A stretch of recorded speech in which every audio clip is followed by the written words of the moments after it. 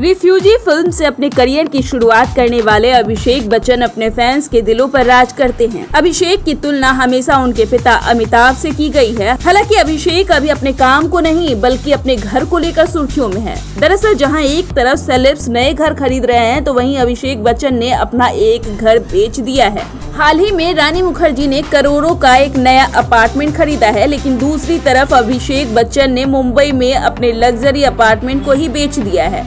इस बात को जानकर फैंस भी खासा हैरान है। दरअसल अभिषेक बच्चन ने अपने पुराने अपार्टमेंट को 46 करोड़ रुपए में बेचा है। दरअसल अभिषेक और उनके परिवार का कोई भी सदस्य इस अपार्टमेंट में नहीं रहता था। एक्टर अपनी पत्नी ऐश्वर्या राय बच्चन और बेटी आराध्या बच्चन के साथ मुंबई में बच्चन परिवार के घर जालसा में ही रहते हैं। वहीं एक खबर की माने तो अभिषेक बच्चन का यह घर ओबरॉय 360 में सैतीसवे फ्लोर पर था। इतना ही नहीं, इस घर को 2014 में अभिषेक बच्चन ने 41 करोड़ में खरीदा था। खास बात तो ये है कि इसी बिल्डिंग में अक्षय कुमार और शाहिद कपूर के भी अपार्टमेंट है, लेकिन अब अभिषेक ने इस घर को क्यों बेचा है, किसी को अब तक ये बात पता नहीं है। हालाँकि फैंस भी इस बात को जानकर थोड़े हैरान है। आपको बता दें कि इसी साल मई में अमिताभ बच्चन ने एक अपार्टमेंट खरीदा था। प्रॉपर्टी वेबसाइट जेप के डॉट कॉम की रिपोर्ट के अनुसार अंधेरी में खरीदे गए इस घर की कीमत 31 करोड़ बताई गई है। वहीं अभिषेक बच्चन के वर्क फ्रंट की बात की जाए तो एक्टर